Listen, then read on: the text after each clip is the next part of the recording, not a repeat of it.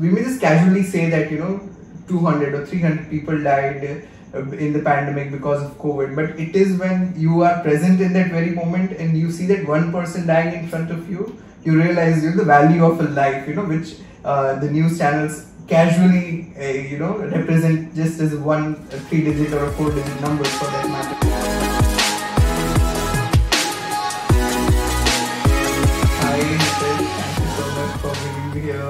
Well, I'm just preparing to go to the US in some times. I'll be joining Johns Hopkins in July and I'm very excited about it. Yeah, man, crazy. I mean, Johns Hopkins. It's Johns Hopkins. Or John Johns Hopkins, yes. Johns Hopkins. Amazing, man. I mean, it's it's like uh, it's the currently the world's first like the topmost university for Yes. medical professionals, right? Correct. yeah, and it's masters you're going for. Yes, yes, Right? that is correct. So you're currently like you've graduated from MBBS uh, uh, like with an MBBS degree last year, and you're currently a practicing doctor, Yeah. and then you're going for a B, your A masters. masters, yeah. Perfect, man. And like I've I've known you since a few years now, and like not just from the field of medical, but I've known you. In fact, when we met, we met through some youth initiatives, right? Right, And yeah. uh, you've been involved in so many different things. And this podcast is like I'll just brief you about the uh, idea about this podcast. That the kind of guests which I want are the kind of guests who can bring relevant stories to the youth. And why so? Because I mean, हम as young people सोचते हैं कि जैसे रतन टाटा है Elon Musk है we take them as role models but we are not able to relate with their journeys right Hmm. so this podcast is meant for people uh, with whom like who can relate with you and your journey and they can say that after this pod, watching this podcast okay maybe even I can do this right because we're from uh, we're from Vadodara small Yeah. like uh, small town and you're from uh, Jam Khambalia. from Khambalia, right? Yeah. So like these aren't metropolitan cities, and uh, I feel that there are a lot of young people who are there who have aspirations but who don't have people to look up to. Uh, just the other day we had a pilot here, and she was telling me that how important is it it is to have a perspective of someone like perspective that okay even this is this can be a reality for me so thanks for coming on this show and Thank you so much. It's always a pleasure to be with you. yeah, same here, man. And uh, it's just ki, it's so sad that you're going to US anyway. In anyway, it's been a while we haven't met, and जब अभी time मिल रहा है तभी you're leaving. Oh God, yeah. But anyway, so like, uh, can you tell me a bit more about like, have you always wanted to be a doctor, or have you always wanted to be in the like medical industry since the school years? Right. Okay. This, this is interesting. So to be honest, I never had a very firm goal of coming to coming into the field of medicine. But yes, how it all started was my uh, love and passion purely for sciences. I was always very keen about science in general, even in school time. So that was something which uh, medicine was, I guess, just a byproduct of that entire uh, love for uh, science in general. I, I can say. Back in the school there was a time I wa- I wanted to be a civil engineer or a mathematician and things like that. So my interests have been varying ever since school just like any other kid I guess. And the Indian system I believe you know does not give enough opportunity to students to explore their various interests before coming to a conclusion of okay this is something we want to do for the rest of our lives so yeah Like the new education policy still is trying to do that, but I, I don't think so that it's still there. Yeah, because I exactly. guess when we were in schools and like uh, it was only science, commerce, maths, and science maybe bio, PC, and BC. Yeah, right? exactly. Yeah, so definitely that restricts the thought process of a person and maybe the realities which are exposed to them, right? Hmm. But so then, like, why did you choose? Like, you were overall curious uh, about the world, right? How Yes, everything works. yeah. Yes. So then, like, what made you choose biology, or what made you choose this path? Right. Okay. So I uh, this, this is something one of my cousins told me, and that really ignited a thought process in my head. I can say. Uh, so he tried to connect uh, medicine as a form of human engineering, wherein we are trying. It's a riddle. A human body is a riddle, I can say, and we are trying to solve it.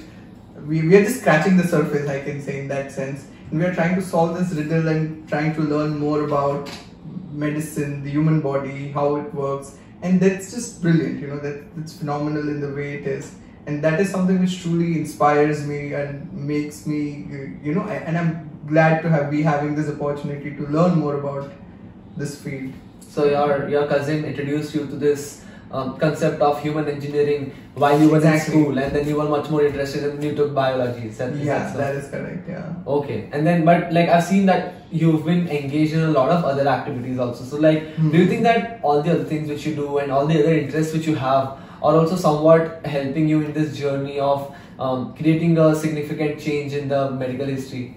What Right. Okay. So how I see it is uh, is that you know a doctor connecting to a patient is the first point of contact in the medical industry, but the industry in general is very big, and you know the doctor-patient relationship is just one small part of the big picture. So I guess involving into management roles during my college time, taking up leadership roles, truly taught me to look at the bigger picture. Like during the pandemic, we realized how the decisions at the managerial level affected the healthcare system of an entire country as a whole. Mhm, So definitely. these are the things. uh, The like participating in extracurricular activities in leadership roles during my medical school, I guess gave me a different lens and opportunity to see the things with a different lens, and that is something I guess uh, teaches uh, teaches a person to uh, to look at the bigger picture. Mm, This makes a lot of sense because you know what I can relate this to.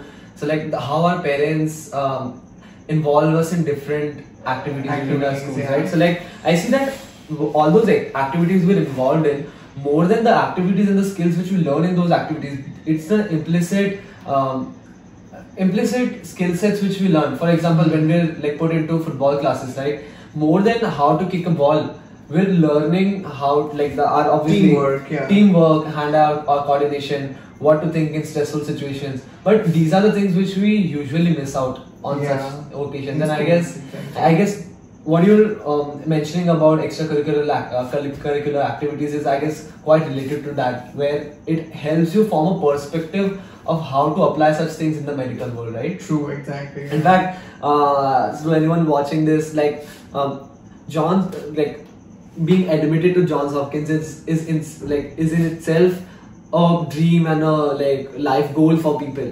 But apart from that, also Sneh, we I myself have been introduced to Sneh on a different occasion than medicine. I never Yes. even knew uh, you that you were into like you were of an this, MBBS, yeah, an an MBBS student and studying medicine because I mean for me what the reality of M- MBBS students are that they'll be only studying uh, All the time, yeah. all the time and they won't have time for anything so this is also an example for people that it's upon you how you handle all those things together with this.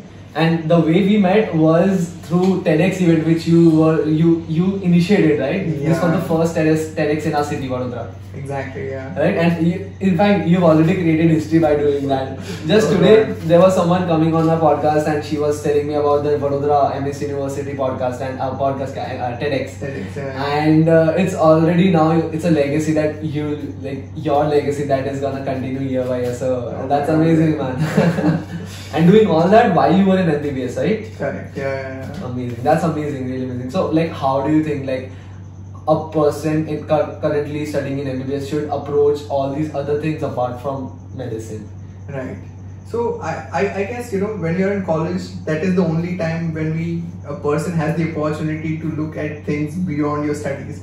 We see engineering students doing this all the time. They are involving themselves into different into learning different skills, uh, engaging in different activities, and I guess it's high time. And, the, and engaging in all these activities is something which gives these students you know a different view a perspective about this world and how things work and i guess it's high time that medical fraternity or even medical students particularly should also involve in all of this uh, by dividing their time in a way which fits their curriculum as well as you know gives them some time for all these activities and uh, yeah it can truly help them enhance their personalities and uh, yeah so that, that's something i strongly felt after going through all of this Definitely, and these days there are so many even diverse courses. Like even like I've uh, I've got a friend like who's gonna come on the podcast. is currently studying um, medical ethics. Uh, Right, from yeah. Harvard, Harvard Medical. Harvard Medical. He, yeah, he's uh, you know him. yeah, yeah. Yeah, yeah. yeah. So, uh, so like, uh, and like he's promoting gender, uh, gender uh, equality, and yeah,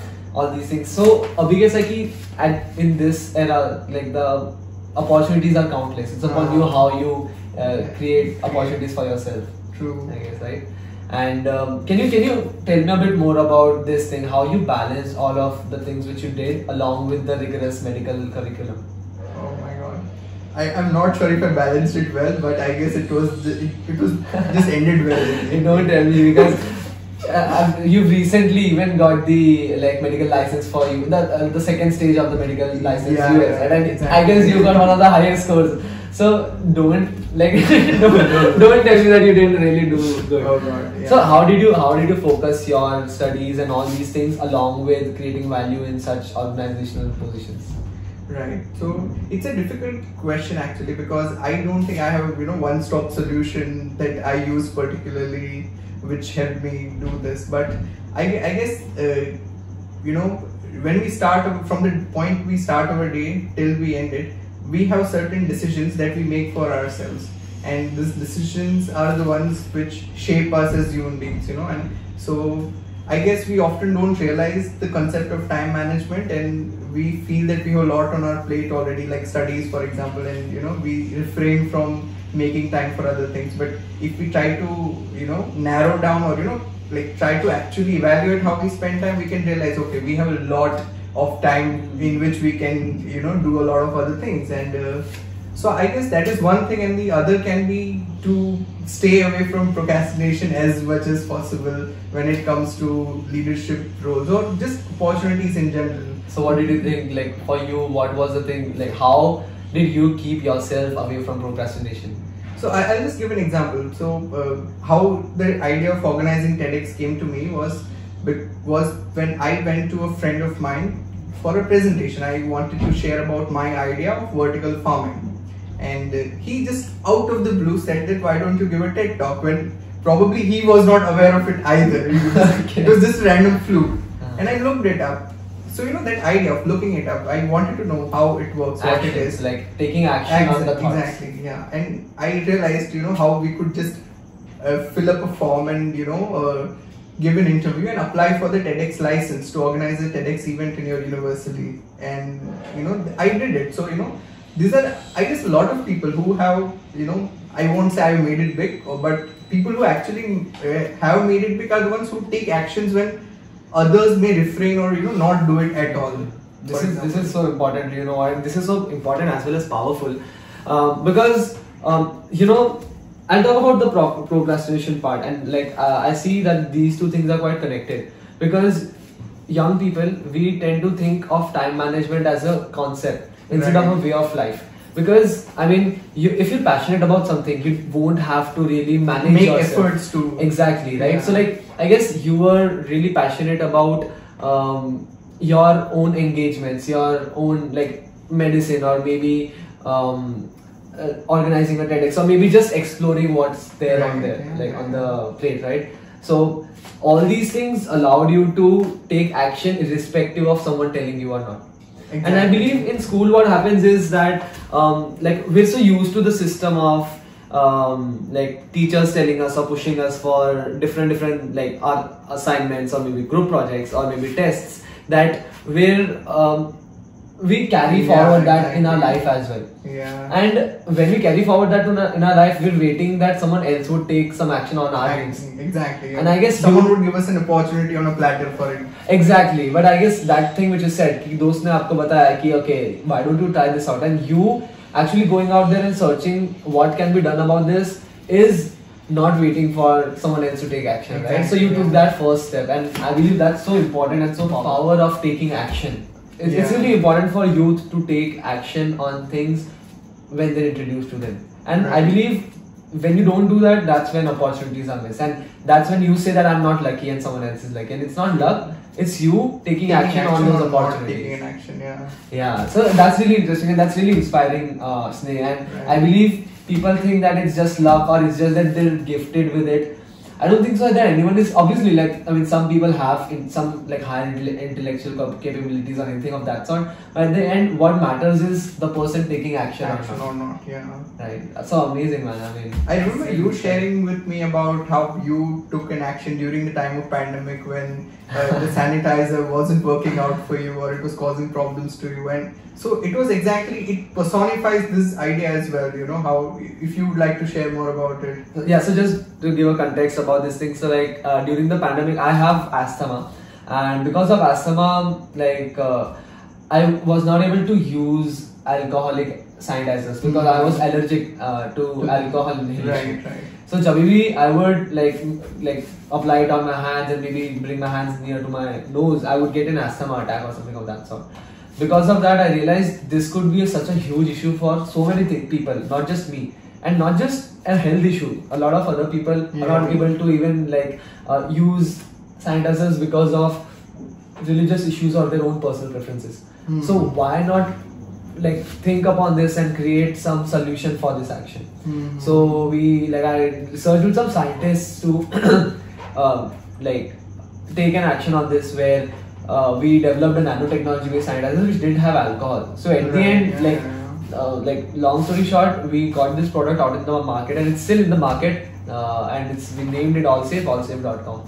But then like one interesting thing which I would like to bring to no- notice and in- this is this is no way uh, a flex in any way because I was not I'd never studied uh, sciences. I Right. have never I not even in 11th and 12th I studied science. But I realized that to create an impact, to create a uh, like to make an action, it's not really necessary for you to know everything. Hmm. It's just necessary for you to know like the first step. Exactly. Yeah. And when you take the first step, it's, it's about the next start automatically. yeah, the leg happening. fits in. I mean, that's done. And then I just contacted scientists, and then things went on on on their own because obviously Yeah. people were there. They helped. It was a win-win for all of us. Yeah. But anyway, we need to talk about you. Can you tell me a bit more about your startup? So, like, uh, apart from medicine, also you've been involved in. Uh, you started up your own venture with, for which you even even got a funding, right? Yeah. So I wanted to know about that uh, Right, experience of yours. So uh, we got a chance to participate in this event known as Young India Challenge. It was it is conducted by IIT Delhi each year, at least in the pre-pandemic era. And the idea was to come up with a sustainable startup idea, something which helps the environment as well as is a profitable can be a profitable venture. So we presented the idea of starting a sustainable tourism business, which involves renting clothes. So just think about it. Uh, anybody who's traveling from one country to India, for example, for a, a trip, a long trip, the main uh, fuel cost in the in the airline would be that of the luggage, the clothing, for example. And we were trying to hit that point. We were trying to reduce the amount of cargo transported purely for touristy tourist purposes, and that's when we thought of why not we can start something which is affiliated with the airport or in within the airport, and it can allow people to rent clothing from that point onwards, carry it throughout their trip, and get it back when they go back to the country from the airport itself. Interesting. So it's So- sustainable. It's saving costs. It's win-win Yeah. for everyone. So that was something for which we received funding initially, a seed funding, and we tried to uh, you know expand it in uh, different places.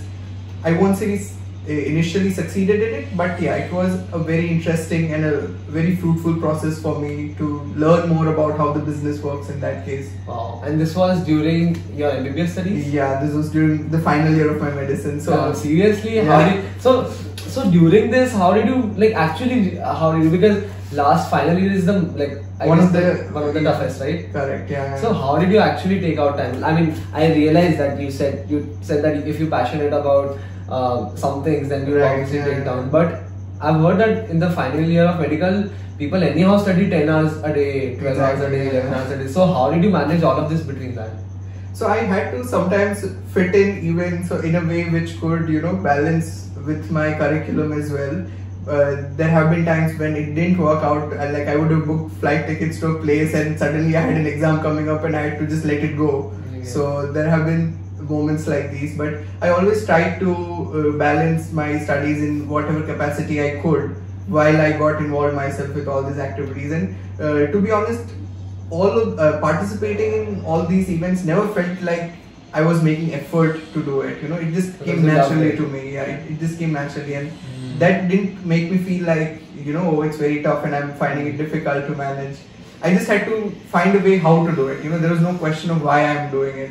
Wow, that's Yeah. really inspiring because here I realized the potential and the power that the reason, the purpose why we do Yeah. something holds. And if you Exactly. love, you're in love with that, you're you're not gonna like be distracted by the pain points which are coming on the way. On the way, It's just yeah. gonna be a hurdle. I mean, True. which you're gonna pass anyhow, and you won't see कि Exactly. अच्छा हम कितनी बार गिर रहे हैं या फिर कितनी बार move रहे Yeah, हैं. I think it's it's really inspiring to see a lot of startup sto- startup stories wherein uh, the question is not why I want to spend 15 hours a day working, for example. The question is how to do it, and that's it. There's no because the why is already set. sorted. Yeah, Sorted, why is already sorted. Yes. So when that purpose is so strong, I guess you know it's easy to move forward without having doubts about yourself. Wow, this is this is really powerful, and uh, that's actually that actually sums up that whole thing about procrastination. Also, lot, lot of people think कि क्या procrastination कैसे खत्म करें procrastination पूरे दिन हम बैठे रहते स्क्रोल करते रहते हैं। But I guess the like the way out of this is finding a why why for you right but you know what's ने I mean I believe like we are quite privilege that okay we might I mean obviously there are things which we will gonna explore but we still have an idea of our why what excites us so what do you think about the people who haven't found that why as of yet Sneh, what do you think like for those who are not really um, like sure of their ikigai their why then Right. what would you suggest them what can they do to find a Okay, so this is interesting. I, I don't think there's a one single answer to this question, but what I can definitely suggest is uh, that people can keep trying different things before they can come to a conclusion, and it, there's never any particular age or stage at which Hmm. uh, you can come out, come up with your why. There are people who who explore their why in their 40s or 50s, and I guess it's it's okay example, totally. there's a, this man from Anand. So Mr. Anand from Bangalore is a really uh, interesting figure because Right. I mean he quit his job at age 40, 45 and he started his own like movement of building artificial lakes Lakes. all over Bangalore. So I mean he found his ikigai on 40. I mean what's stopping you? You're just 20, 21, 25, 30. I mean I you've got a your time, yeah. yeah and uh, it might not be that like you might not really uh, synergize like listening like hearing this from two young people but take it from us i mean Yeah. we've had a lot of uh, experiences of people who are there in their 30s 40s 50s and you can find such stories anywhere who are changing their careers and still they're happy in their lives And they're making it big as well. yeah. Yeah. And in fact, all the best things which have happened to me have happened because I dared to try something, Something new. new. Exactly. Exactly. right. Jinx. so that's that's really interesting, um, Sneh, and like I'm really happy for you that you found your ikigai so in, in such a like young age and you're pursuing it and being consistent at it. What do you think? How how does consistency play a role in this? Right. So uh, I, I guess consistency always comes with finding your bigger purpose. You know, when you somehow know where you want to reach, then you have that inner sense of restlessness wherein you just can't sit before you have truly achieved your passion or your goal. You've reached your end goal. So I get I guess having that bigger picture in head, you know, can be very important at times and once you have it, I don't think you need a reason. You don't need to find a reason to be consistent. You're just doing it regardless. Yes. Yeah. And that's really interesting with what you said. कि यार there is this restlessness जब तक तुम्हें वो नहीं होता है. And I guess a lot of young people have that restlessness. I myself have that right now. And I believe rather than being afraid of it or being embarrassed or being like worried about it, I guess we should be we should embrace it. We should embrace it and like work on exploring stuff so that we're one step closer to who we actually are. What for what we're meant to be. Right? That's really inspiring, man. I mean, amazing. And so, like, can you tell me a bit more about your scientific researches? I mean, that's really uh, like I was going through what all you've done, and I came across this like period of your time when you did scientific researches, and, and after that, can you even tell me a bit more about your work in the pandemic? Okay. Yeah. So I've been involved with a couple of scientific projects, but one uh, project that I would truly like to share about is, is something slightly personal to me. So uh, I, I, I guess I was in the first year of my medical school when my grandfather he attempted suicide, and he did it by uh, consuming uh, consuming the toilet cleaner in, in my house. So that was something which truly moved me as a person and I was posted in my medicine wards as an intern when I also saw similar cases of uh, people who had come up with suicidal organophosphate poisoning, which is the uh, insecticide or the pesticide which is normally used by the farmers in India. And uh, according to the WHO statistics, there are over a million deaths each year because of suicidal poisoning in India, and that is a very big number. Now, uh, because this uh, because this ailment affects a certain class of society, I, I believe I realized that there was not enough done on this. So my attempt was a very small, I guess, like a, like a very small research, if I may say so. But we tried to study 50 patients in total who had come up with suicidal poisoning in that case. And we tried to uh, you know identify the biomark uh, biochemical markers affiliated with the event and all of that just to come and, and better get a better understanding of the problem. But uh, that was something which was truly close to me. We are yet to publish the research but uh, that is something you know which was truly personal to me. And we i'm glad that i could continue that project in my hospital. It's really fascinating to see how you can actually impact lives through research because I'm pretty sure that once this is published, when this is available to a lot of people, I mean, a, a lot of scientific uh, researchers or maybe people who are taking action will be able to get a better insight on all these things, right? Yeah, and definitely, you as an advocate can obviously uh, take this forward uh, as a medical professional as well, right? Yeah, exactly. And uh, like, can you share a like few experiences of your like pandemic medical journey? Yeah, okay. So I started my internship uh, during exactly around the time when pandemic started. internship is the last, like after your final year, you final year of medicine. Internship is a one year period wherein you try to uh, you get to work in different departments of the hospital. And uh, so my internship started in March of 2020. 2020, yes. And that was also the time when India nearly had its first wave of COVID. And uh, because that was just the beginning of the pandemic. Nobody had any clue about what treatments to give, and so there was a phase with just in my first week of uh, posting that I was witnessing so many deaths every single day, and that was deeply uh, moving, at least to me, to witness so many deaths happening within the very first week of that pandemic that I, I, I could I could be a part of, and that was when I started blog, writing daily blogs about my experience I used to share the patient stories or the experiences I had during that time, and it was a tough phase. Like today, we may uh, we may we may just casually say that you know 200 or 300 people died uh, in the pandemic because of COVID, but it is when you are present in that very moment and you see that one person dying in front of you, you realize you know, the value of a life. You know which uh, the news channels casually, uh, you know, represent just as one three-digit or a four-digit number for that matter. Mm, I'm getting I'm getting goosebumps when I'm when I'm thinking of this because you know we as citizens we're not really close to that reality which yeah. doctors are subjected to and when, while you speaking it I can like uh, feel your emotions while you're seeing that that अपने सामने किसी को bed पे तड़पते हुए देखना या फिर किसी को ऐसा देखना कि okay there like they know that losing life in front they're losing life in front of you it might be really traumatizing, right? So, as a student, how did you deal with all that? Uh, my way of uh, dealing with it was definitely journaling or writing uh, about my experience, and uh, I, I never realized that you know what I was writing was also a lot lot of people were able to relate to it. I guess it was even um, like published in New York, New York Times. Times yeah. So th- there used to be a phase when you know I used to blog daily about it, and just out of the blue, somebody from the NYT reached out to me to submit a story regarding the pandemic and my experience back in India. And that was when one of my experiences of working in the COVID ICU was published in the New York Times.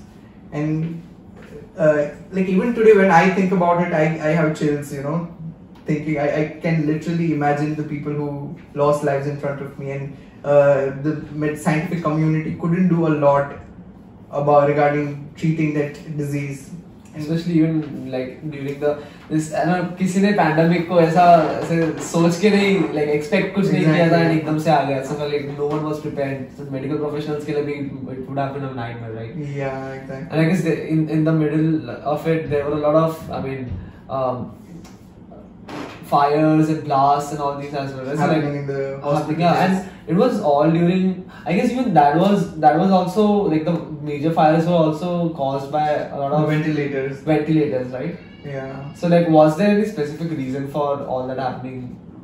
during? Uh, I, I won't say uh, any specific reason, but uh, that like 2020, uh, mid 2020 was a period when uh, the governments or the hospitals were realizing how uh, there was a very huge gap in the demand and supply of the ventilators at least. So a lot of companies were given uh, the, like you know given the copyrights or you know the trademarks of uh, making ventilators uh, as and when possible. But that also possibly led to a slightly lower quality machines, which Ah. may could have been the reason why this happened in the first place. And to my surprise, a lot of hospitals uh, experience this similar issue about fires in the ventilator. Okay. And while we're talking about how public development, uh, public uh, uh, medicine and like uh, public health plays a role in our daily lives and how like medical fraternity is dealing with all of this, you even mentioned me like and mentioned about your interest in public health and policy. So Yeah. can you even like share some insights about what you're planning to do and like how, how's your interest and inclination towards that? Right. Or any projects which you take, took about work which you did? Yeah. Okay. So uh, let, let me just share about you know how pub- the field of public health can be important. You know, in ways we don't realize at times. So recently, Bill Gates uh, gave a TED talk and he shared about how the Roman Empire combated great fires, massive fires, by establishing a foolproof firefighting team, for example. Back in that era, in, in, in second century BC, I guess. And uh, so that concept of you know having a full-fledged team of firefighters was something that helped them in that era to combat fires.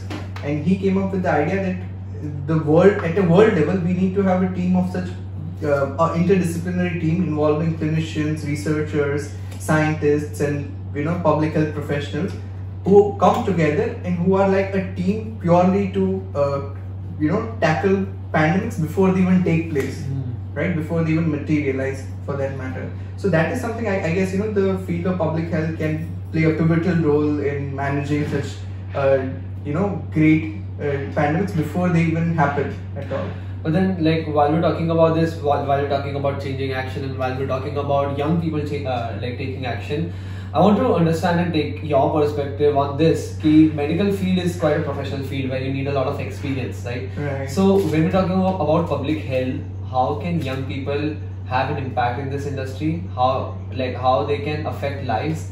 And I understand that like being there, contributing, uh, being a part in the ICU is a major thing But like people might have a realistic or unrealistic expectations कि ठीक है मैं medical में जाऊँगा and then I'll do researches and I'll get involved in such teams and work with Right, such people. yeah. So like how possible is it and how um, if not approachable, how realistic is it for some young people to in- get involved in such a scale, on, on such a scale, on such such projects and such things? Right. Okay. So uh, here we can talk about you know how laymen in particular can play a role in you know improving the healthcare of the society in general. Like during the pandemic, we saw how uh, different people came together to raise awareness, uh, uh, to raise awareness about the disease. For example, helping in distribution of medicines, collecting unused medicines. So these are just small little examples of how community involvement can help improve the health of society in general. So that is one thing. And, and secondly, when it comes to uh, practicing doctors who are just starting out, for example, uh, they can probably they probably need to look at. They probably Yeah, they probably need to look at the healthcare from a bigger picture. You know, uh, tackling the doctor-patient, like you know, tackling the patient problems is one aspect of you know what we uh, of the big healthcare industry. And I guess uh, you know, trying to understand the disease in general would be so- uh, like you know the society in general would really help them be better clinicians and uh, improve the so- health of the society. Right, makes sense. Yeah. So, like you know, to just add a little more uh, example, a little example to this, like uh, the pandemic actually started or was detected in China in December, November to December of 2020, 2019 actually, and uh, so what happened exactly was that the uh, local healthcare officials of China realized that there there were in close to 20 to 30 cases of pneumonia of unknown origin, pneumonia of no identified organism, for example, right? And when they had just reached the number of 20 to 30 patients. They were able to, uh, you know, get the red click, you know, catch the red flag and take action. Now just think about Indian healthcare system in that setting. Had there been just 30 cases, I don't think any healthcare, uh, you know, uh, society of India would have been alerted so rapidly. Like towards the end of 2020, for example, China had already, uh, like you know, multiple healthcare systems had already, you know, uh, done the uh, DNA analysis or the genomic analysis of the virus and everything. So these are the things I guess you know. Uh, these are the ways in which we can strengthen our healthcare system by creating proper alert systems, uh, wherein we are able to detect diseases which often go unnoticed in the society or in the society. So yeah, that is something you know we can improve particularly As a country. as a country exactly. Okay. So, and what do you think about bioethics? So, like they say, um, if we- we're talking about China and like the way they ha- handle the crisis. So, like uh, just a random thought which occurred in, in my mind was bioethics की कैसे medical field के अंदर uh, ethics play a huge role. जैसे like my father runs a pharmaceutical company and like I've realized I've seen how like policies are incorporated in manufacturing processes, how hmm. they have to follow it by the T. But at the sam- same time, there are people and ways in which things can be surpassed and like Yeah. gets trickled down into, into the system. So, hmm. what do you think about like ethics in medicine? Right, okay. So, um, at least the pandemic made us realize that ethics in medicine operate on two different fronts. First is the patient front, wherein, you know, if I am a patient, I have the right to decide that, you know, at least the treatment plan or participate in that for, for that matter. And the second is the society uh, in general. So, for example, like if I'm a COVID patient and I decide, you know, I don't want to wear a mask or I don't want to isolate myself, it technically it can be a patient right, but uh, it you know conflicts with the interest of the society. So, uh, as healthcare professionals, these is this is the there's a balance that we need to find, you know, um, and that's when ethics come into picture. You know, ethics play a very important role in deciding how what is in the interest of the society versus what is in the interest of the individual. And yeah, all of thing is just surrounding this concept or this idea. Okay. Makes a lot of sense कि इसमें फिर actually बहुत सोचने वाली चीज़ें ये था। But anyway like we are talking about the whole journey and how you are making a change and what you think about concepts I for someone who is listening to this and who might be in their school it might look like a really overwhelming journey journey की बहुत लंबा है time period and you have to invest a lot of time and you recently even applied for the US medical licence right so like can you tell me first of all, even like why US medical license and what's your plan with that? And secondly, what can you suggest to some person, some young person who is listening to this and who might be having second thoughts about this long journey of medical history, Right. medical profession? Yeah, okay. So, I, I guess, you know, uh, uh, it has been mentioned in multiple books about this idea of the 10,000 hour rule. Like, uh, being an expert at something truly requires that level of dedication and, uh, you know, focused work. And medicine is something, as I mentioned earlier, we are just scratching the surface. We are, you know, still trying to know more about the human body and how it functions. So, definitely, it's as long as a PhD, but it requires this kind of effort in order to truly understand how to see a patient and how to deal with their problems or help them get better. And uh, I guess you know the long haul of this uh, profession is the uh, yeah is the dedication that one needs to give in order to understand the system better or the human body is better. And uh, why US? I, I can say that you know uh, at least as of now that country has proven through its research and healthcare how it can affect multiple lives across the globe like how like their action plan during the time of pandemic or their quick research in the field of vaccination it just shows uh, how quality research can affect lives not just within that country but globally. And uh, what truly drove me to that country is you know that very idea of uh, getting an opportunity to involve with the first class the finest research possible. And uh, yeah that is something i wanted to involve with and thereby also contribute to my home country india uh, by the kind of research that we can possibly do over there So you're planning to come back, but like gain exposure, research, some research, and gain a network, Yeah. and then come back to India and practice it here. Is it so or no? possibly i'm, I'm uh, to be honest i'm still exploring my avenues in that in that field but yes if i get an opportunity to work in this country and to serve my country i would definitely take that I, up. was- I was just thinking कि यार people like you they go out अपने country का क्या होगा But what do you think? What's what's lacking in our system which like stops people from uh, right. doing? I, I guess there are uh, first of all there are the administrative factors and the political hierarchy which often comes into picture like the health ministers are not practicing physicians for example or you know people who take decisions for the hospitals are often not doctors. And this limits the abilities of physicians to give their best or to be at their optimal performance secondly uh, i believe that since india has not truly adapted the technology the excellent technology that is available for patient management uh, a lot of doctors time goes into managing the paperwork for example. And so i guess once we start working on all these factors little by little uh, introducing the electronic medical record system for example in india can be one small step towards getting a better healthcare system and so I guess you know learning these concepts from a country like US and bringing them back to India would be something uh, which can truly help our economy and healthcare system as well. Right, definitely. I mean, talking to it seems so like even intimidating. Ki I mean, and still he is saying that he's just exploding and it's this this has been an amazing conversation, Sneh, and Thank like so truly, much. I mean, I'm pretty sure that who whoever listens to this whole journey they'll get a good perspective of how a person from a small town can actually make it to the best university of the world, best medical university of the world, and crack it in different spheres, not just medical. Definitely. So thanks for coming on the show, man. I mean, it was amazing talking. Will always love it. Hard to see you. Yeah, same here.